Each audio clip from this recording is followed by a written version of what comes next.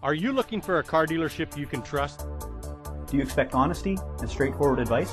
Do you want to be treated with respect? Do you want your vehicle fixed right the first time? Stop looking and come and experience our award winning team at Integrity Hyundai.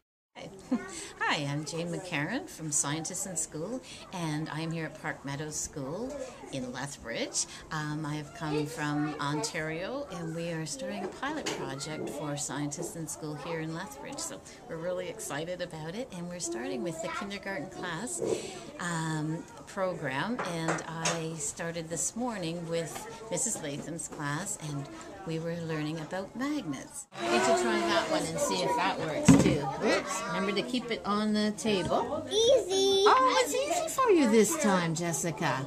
How about you, Ashton? Yes. Okay, use the other side of this. Remember how there's one letter on one end and there's a letter on the other end? Try the other end. Does it work That too? one's easy too. Aha! The So other maybe- side does too. That's right. So you can can you make it move around the top with that side with that side too? You can. And what happens? It seems like a very simple thing, but for kindergarten, it's a very exciting thing, and it's an introduction to forces and physics.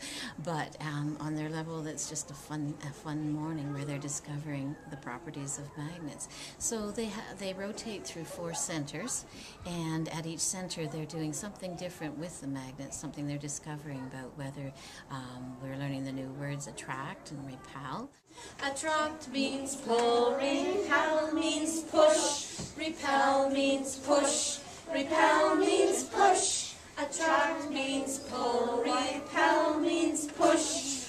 Magnets are such fun. We also have an opportunity to explore uh, different toys that might use magnets. So it introduces them into a different world of things they're already using, but they get a chance to explore that. You want to try these two? Oh, look at I'm lifting them up because I'm mad. Hey, so they they attract or repel. Most of the morning.